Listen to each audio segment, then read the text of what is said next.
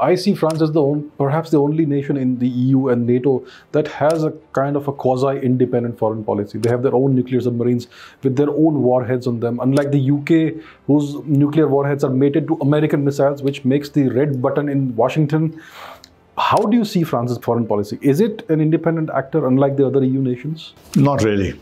See, France has a problem. Uh, now with the United States building up this new Europe against old Europe, they have to preserve their position, uh, which is becoming more and more difficult because Germany has succumbed. They just succumbed to American pressure.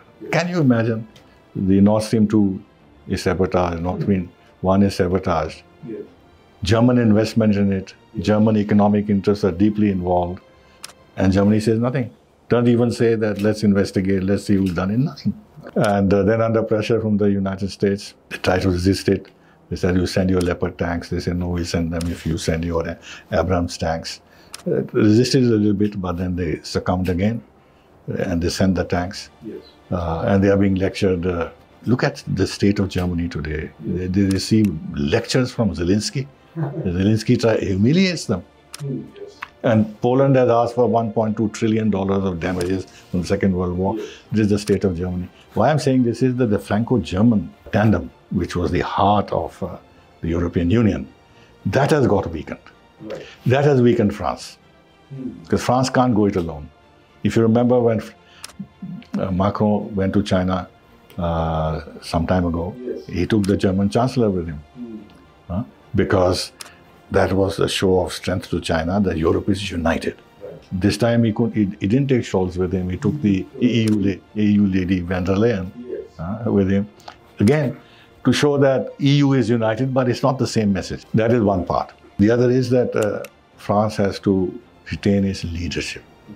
If it doesn't join the gang, it will be marginalized. Because America is controlling uh, everything, and Britain is playing a very insidious role from the outside because they they always wanted the European Union to be weak, uh, and that's why they wanted the expansion of the European Union to dilute the centrality of France and Germany. And now they're very happy. build up Poland, Poland, supply arms to Ukraine, determine the security future of uh, Europe from outside. Mm. Don't not leave it entirely to uh, the Europeans themselves to uh, decide. Now, if uh, France uh, doesn't fall in line uh, it'll be marginalized. And the public opinion has been so brainwashed, so brainwashed through the press mm. and think tanks and others, that they will not accept any dissent.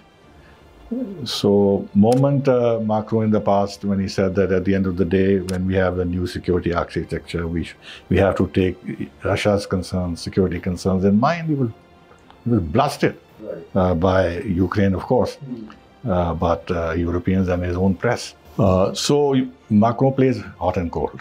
At one time, he talks about negotiations that you have to explore that, and he did. Uh, he did talk to Putin. He visited Putin also. Uh, so to keep the door open. Uh, and on the other hand, as in his uh, speech when Zelensky came to France a few days ago, if you read the, the text, full support to Zelensky, including on the criminal court, set up an ad hoc tribunal, We'll give you all that you uh, need uh, to defend uh, yourself and stuff like that. Uh, that is the second.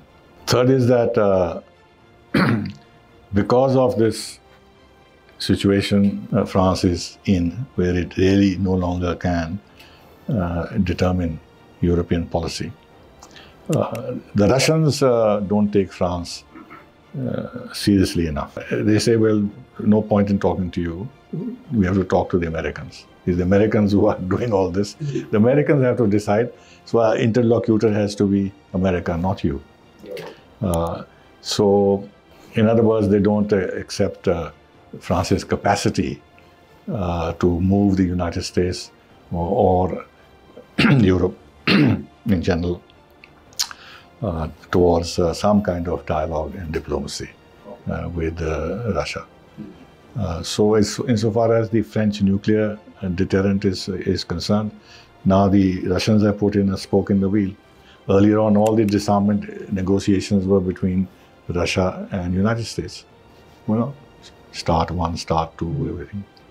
Now the Americans are saying, the Russians are saying, after the Ukraine conflict and the kind of threats that we are faced with, we don't make a distinction between the American nuclear arsenal and uh, the nuclear arsenal of Europe, especially as US nuclear arms are stationed in Europe. Yes. Therefore, in future disarmament negotiations, it has to be with the transatlantic alliance, which France will never accept. So I think uh, having a nuclear deterrent of their own gives them a certain sense of uh, prestige and mm. protection. but uh, they are not threatened. They're not threatened. Threatened either by, by America or within Europe. Yes. Only potential threat is against uh, by Russia. Mm. And I don't think they have the horsepower to stand up to Russia right. Uh, in the nuclear uh, domain.